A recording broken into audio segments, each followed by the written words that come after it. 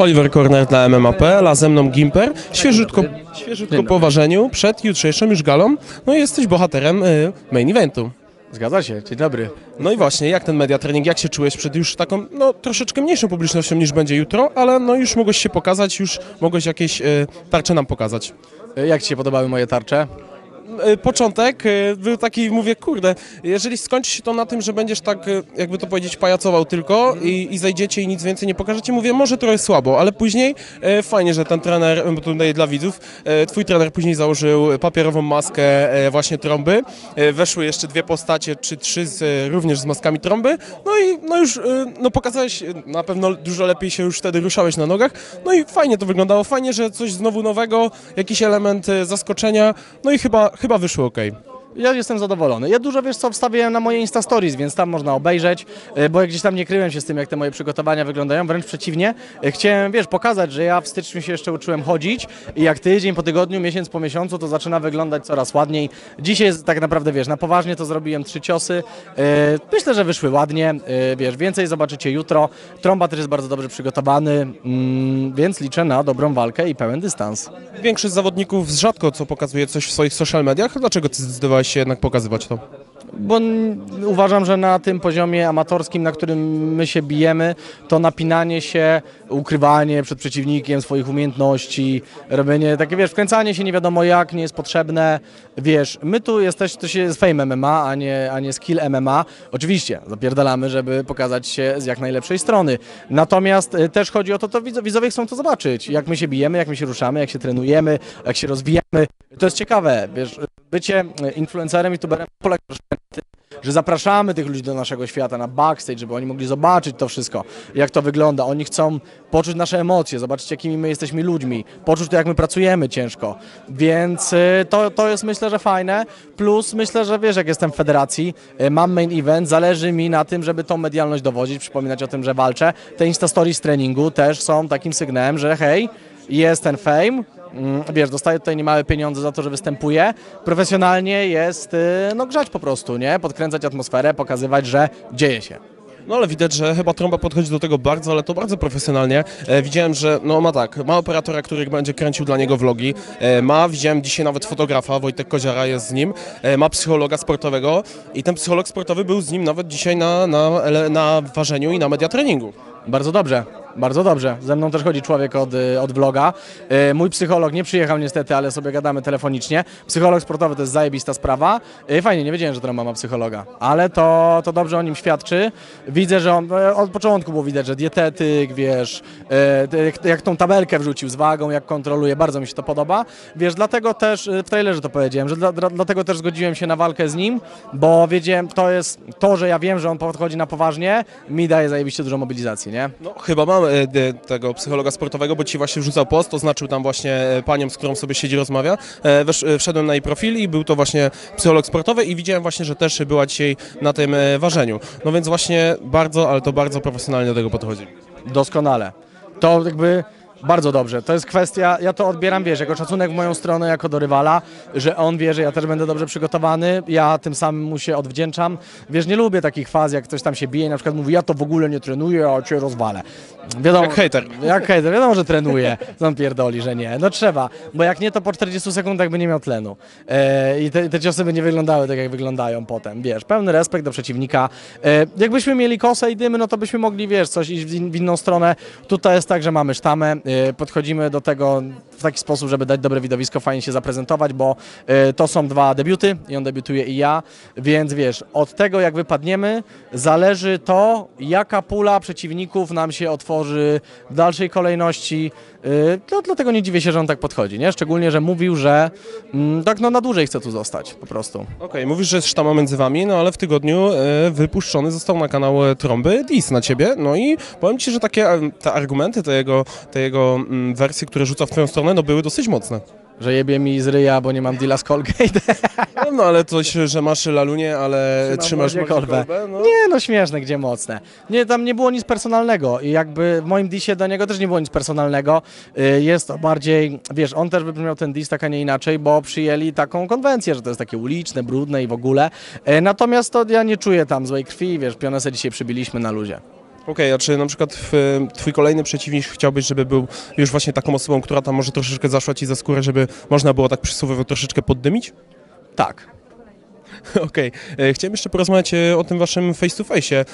No i o tym, że Mateusz nie chciał telefonów od widzów. E, Zaskoczyło cię to? Ja nie wiedziałem o tym. No, tak jak zresztą widzieliście moją reakcję na żywo na programie, powiedziałem, jak to nie będzie telefonów. Telefony są zajebiste, ja bardzo lubię. E, Wiem, że tam wszystko może się wydarzyć, może ktoś zadzwonić. Wiesz, z Aluną gadaliśmy, zadzwonił chłop i mówi, Gimper, hipokryzją się wykazujesz, bo coś tam, coś tam, coś tam, ale no właśnie o to chodzi, konfrontujesz się z tym, możesz się obronić, to jest zajebiste.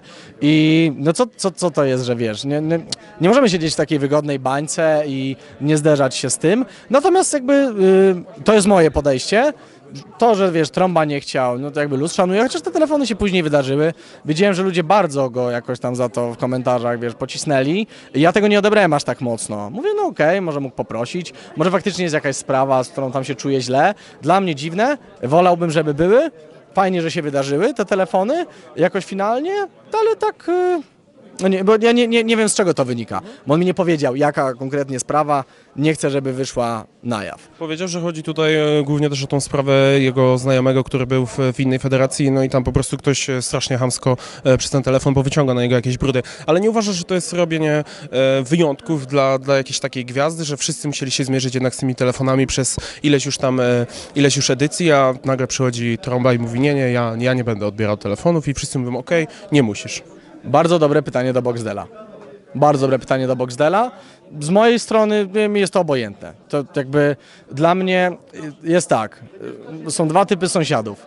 Może być taki sąsiad, co chce, żeby sąsiadowi było źle, albo taki, żeby tobie było dobrze. Mnie to nie obchodzi. Jeżeli jakby jemu je, nie jest to komfortowe dla niego, federacja się na to zgadza, mam chill. To nie, nie jest coś dla mnie istotnego. Gdyby chodziło o kwestię czegoś wiesz, istotnego dla mnie, na przykład powiedział, chcę walczyć na gołe pięści, nie zakładamy szczęk. No to bym powiedział, ni chuja, co to jest w ogóle, o co chodzi. E, no bo to bezpośrednio wpływa na mnie. Telefony były mi obojętne, więc e, nie, nie szczególnie mnie to interesuje, ale to bardzo dobre pytanie, żeby je zadać Boxdelowi. A myślisz, ile procent w tym jest e, tego, że mówił, że nie chce przez Kubę Nowaczkiewicza, a ile procent myślisz, to jest szans takich, że po prostu no, leży mu coś na sercu i bał się tego, e, że, że te kilka dni przed walką no, może to wyjść i zaatakować go psychicznie? Jego dosyć trudno się czyta. Ja nie, nie, nie umiem go dobrze przeczytać, co w nim siedzi i co on myśli. Mm, Więc nie, nie, nie wiem, nie będę próbował zgadywać. Z tego, co Sylwester Wardenga mówił na streamie, to ponoć jest jakaś sprawa, o której on wie, że trąba nie chce, żeby było mówione i po prostu minimalizuje ryzyko, że to kiedyś wyjdzie. E, No i okej, w porządku. Okej, ale mamy też na konferencjach pytania od widzów. No, jeżeli ktoś by naprawdę był e, zdeterminowany e, zrobić mu taką e, krzywdę, no to może przyjechać na konferencję, kupić bilet i te pytanie zadać na, przy kolejnej konferencji przed jego kolejną walką. No ja się zgadzam, no ale to wiesz, pytanie do niego, to, to dlaczego on takie decyzje, a nie inne podejmuje. Okej, Mateusz też mówił, że jest bardzo zbudowany psychicznie, mówi, że publiczność go nie zaskoczy, że on był na, występował na meetupach, grał koncerty. A czy myślisz, że takie granie koncertu, a jednak wyjście do walki, gdzie możesz stracić wizerunek przegrywając swoją walkę, to jest różnica? Myślisz, że on jest naprawdę tak mocny, że, że nic go nie złamie? Zastanawiam się, bo on bardzo dużo mówi o tym, że jest przygotowany, jest pewny siebie, nie boi się, nie stresuje go to. No nie wiem, to mi się wydaje, że jak się nie stresujesz, to nie masz potrzeby o tym mówić, tylko to widać po tobie. Myślę, że no, stresuje się mimo wszystko trochę i to jest jakaś tak, pracuje z psychologiem sportowym, więc możliwe, że wiesz, że on to wałkuje, robią sobie jakieś afirmacje, wizualizacje, są różne metody pracy, różnie ludzie reagują na stres. Yy, ja na przykład, yy, wiesz, teraz reaguję tak, że jestem taki wyciszony, spokojny, i reaguję w taki sposób, że się luzuje bardzo, że ja na przykład sobie wkręcam i powtarzam, nie jest to dla mnie ważne, nie obchodzi mnie to aż tak, żeby wejść z jak największym luzem, bo to mi daje komfort psychiczny. Może jemu większy komfort psychiczny daje, że się napina, mówi, że wygra, że się nie stresuje, że się nie boi, bo może to mu pomaga. Wiesz, każdy ma jakieś tam swoje metody. Yy, tak długo jak wejdzie do oktagonu i da dobrą walkę, to zajebiście, a wiesz, yy, po wyniku zobaczymy, która szkoła jest lepsza. E, Chciałeś też e, swoim dzisiejszym outfitem pokazać, że masz ten luz, że się już luzujesz? Nie, po prostu w chuj lubię koszule hawajskie. Ale prawdą jest, że myślę już o wakacjach. Już mamy wszystko zaplanowane, gdzie lecimy. Yy, moim marzeniem jest, żeby po walce polecieć sobie do Holandii, zajarać blanta, położyć się na leżaczku, popatrzeć jak sobie trawka rośnie, jeżdżą ludzie na rowerkach, wiesz, jakieś jeziorko, coś, e, pełen luzik i e, to ja już trochę jestem w mudzie. Okej. Czy jaki jest plan na dzisiejszy wieczór jeszcze dla Ciebie, co będziesz robił? Odpoczywał, pójdziemy sobie z Klaudią i z trenerami na jakąś dobrą kolację, wcześniej spać, długo pospać, żeby mieć dużo energii. Zobaczymy, może jeszcze na jakiś basenik sobie skoczymy. E, pełen chill. A czy teraz w ostatnim tygodniu może trenowałeś e, bardziej późno wieczorami? No bo jednak wasza walka będzie pewnie koło 23.30, może nawet północy. Pewnie tak. A właśnie wiesz że, wiesz, że miesiąc temu o tym myślałem, a jakoś tam w tym ostatnim tygodniu tak się przejmuję tym, co się dzieje i tak dużo się dzieje, że zapomniałem o tym, żeby to zrobić. Nie, po prostu wiesz co, trenuję mniej, żeby, żeby już łapać taki luz i świeżość i dzisiaj, dzisiaj to czułem, że te ciosy, yy, wiesz, fajniej wchodzą niż, yy, niż na przykład tydzień temu, bo dużo takiego luzu złapałem, yy, więc co, poniedziałek, wtorek, środa i jeszcze wczoraj też po jednym treningu sobie, wiesz, zrobiłem, już takie luźniejsze, spokojniejsze, mm, ale to, to jest ciekawe, ty- ciekawa przekmina z tym, żeby wieczorem. Ja słyszałem o tej szkole i ponoć to tak tydzień, dwa przed powinno się zacząć wdrażać. Ja tego nie zrobiłem, więc jeżeli przegram, to yy, będę mógł powiedzieć, że to przez to. Widziałem na jakimś vlogu, nie wiem czy u Trąby, czy, czy, czy z kanału FMA, że właśnie on ty, w tym chyba teraz, tym, albo no może na Instastory, chyba poniedziałek czy wtorek mówił, że o 24.00 właśnie jeszcze odbyła jednostkę treningową. Bardzo dobrze. czyli, czyli no dobrze, no to nie będziemy przedłużać, ja Ci bardzo dziękuję i życzę jutro powodzenia. Bardzo dziękuję. Wszystkiego dobrego.